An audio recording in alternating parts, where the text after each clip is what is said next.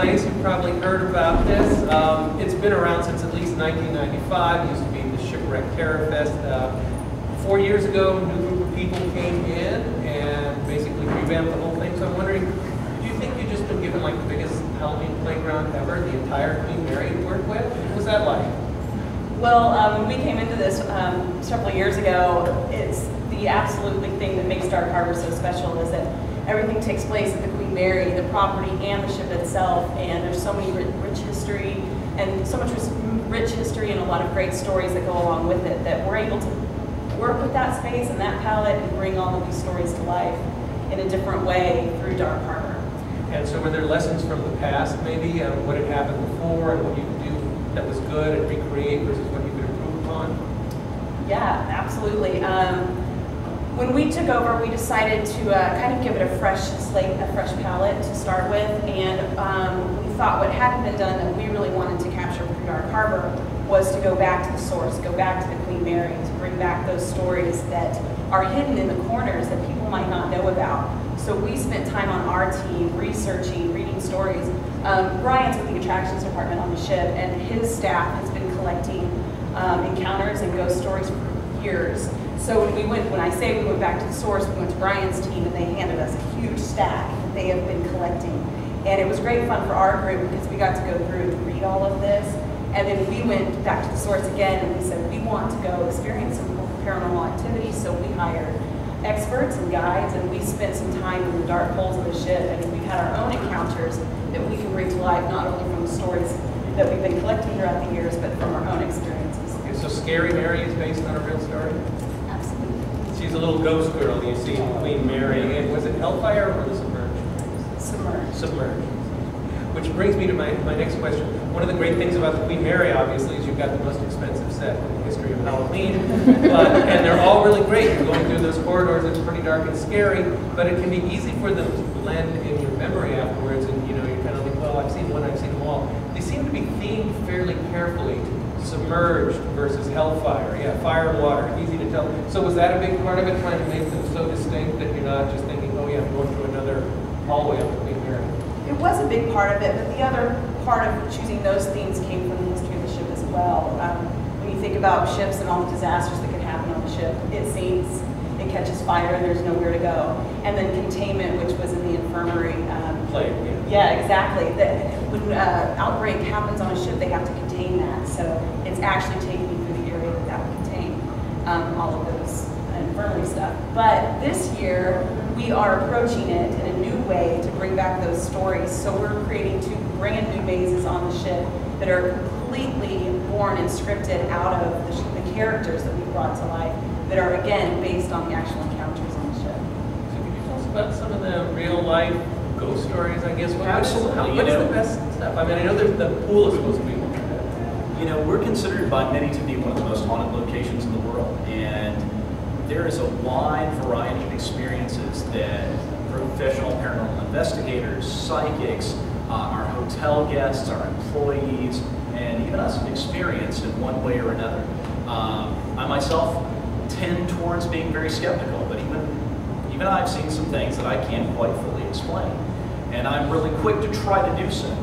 Um, so it's a unique environment, and uh, obviously there's some very famous uh, cases. There is uh, a young lady that is purported to have drowned um, aboard our ship. There are no historical records of any here of any young lady dying in our pool. However, no records were kept during the war years. We served as both a troop transport and a uh, transport for war brides and children coming over from Europe during the Second World War. Um, many of the investigators believe that the truth of that story lies in that period. Um, hundreds, thousands of our guests over the years have encountered this young lady believed to be Jackie. And that has informed the characters and stories of Dark Harbor. Indeed, there's, there's other stories that we touch on. There's the famous death of a fireman in our engine room in uh, Door 13, which isn't Door 13 because it's a spooky Disney number to put on the door, but historically that's always what it was referred to. In fact, you can actually see the markers still on the bridge uh, on one of the control panels for all of the hydraulic watertight doors. Um, that's a famous case, and indeed that, that individual um, has purported to have been seen by thousands of guests aboard the ship over the years, particularly um, from the period she was brought to Long Beach in 1967 and she opened in public in 1971. You said you're doing a couple of mazes. Are these replacing some of the old ones? They are. Okay. Because it used to be in the old days, they would do like four or five, and you kind of felt they were stretching a little thin. And in the last few years, I think it's been three. Was that the reason, the idea we're going to do three well rather than a lot more? Yeah, we wanted to put the production value into the mazes that our guests are experiences, experience. Plus, they have five hours to experience all of the mazes in, and we want to be able to get people through them so they can experience as much as possible in the short time they're be there. Because there used to be uh, one area that went by the huge propeller, that they built that, and we don't get to see that anymore. Like, did they just decide that wasn't scary enough? What, what happened? Um, that was um, taken out, um, but I will say this is exclusive, but there is a potential that that might open back Okay. up. Nice. Potential. Okay, so let's talk about the real challenge of Queen Mary. You know, anything you do is going to be spooky there. I mean, I think they, just before you came in, they had some college kids because they were free. And it was still scary because the Queen Mary is freaking scary. But you have to do some stuff on land too. How is it possible to make them, get them up to that level where they match the Queen Mary? The fishing village is, has a nice spooky feel, but you've got the dome, which is just a big empty space. It's kind of nothing. So, what, what do you, is that the challenge? Big challenge? Um, it's challenging, but I gotta say, the property of the Queen Mary us a lot to work with. That fishing village is incredible and spooky in the architecture itself. The dome architecturally, just from the outside, is is really unique, and it has a rich history too. With that, it's Howard Hughes' Spruce Goose Dome, so it also comes from a rich history. So the property and the Queen Mary itself, we feel, works very well together. And strangely enough, some of uh, our fan favorites happen to be off the ship, and the village has always been one of the fan favorites. So, um, like the, the corridors are very dark over the ship. Obviously, that's a, great help for you. Also, maybe a hindrance because people might miss stuff. I notice always the kind of subjective impression of people who go through the mazes is often quite different from maybe what was intended. Have you ever heard feedback from anyone and think, oh God, they missed the thing I most wanted them to see? Is there- There's stuff like, oh, they didn't get it because it was too dark, or they were scared by this thing on the right and missed something else. And any feedback, like you were surprised at the reactions?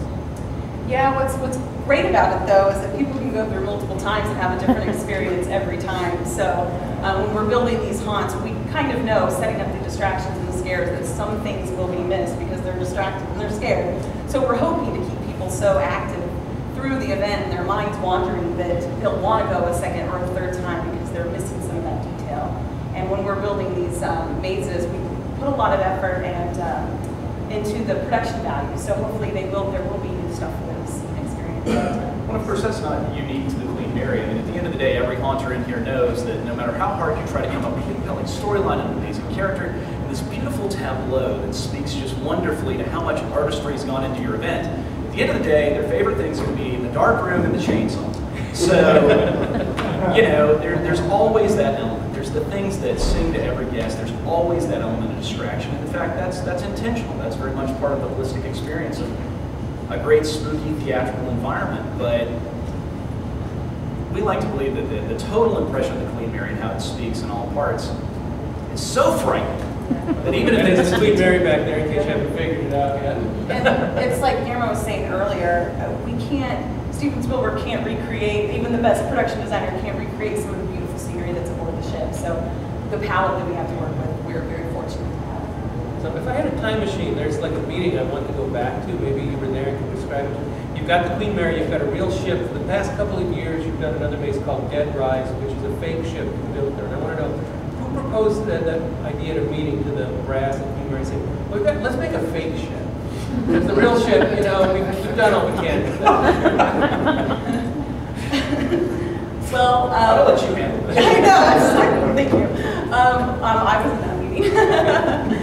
um, it goes back to the historical stories that the Queen Mary has to offer. Some of them documented and some of them not. Um, when the Queen Mary was working as an escort ship, like Brian was saying during World War II, there's a lot of stories that go along with that. One of the things that goes along with that is the uh, Dead Rise is based on an escort ship that um, the captain has conjured up from the past and brought to the Queen Mary to help.